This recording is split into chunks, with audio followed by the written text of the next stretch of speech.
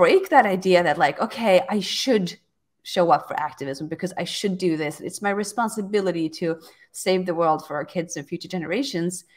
I mean yes if you want to tell yourself that but it's not going to work in the long run you're going to get very tired and overwhelmed.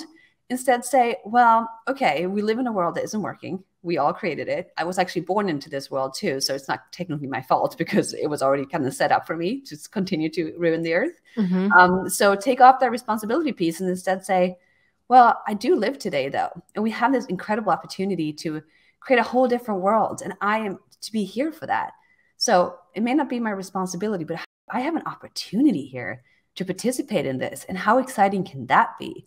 So again, just tell yourself a different story and just start like digging in where it feels good for you to start. Maybe you do want to go to your city council because you you're there, you're really amped up and, and excited. But if that's too much for you, start somewhere else and just continue to build up.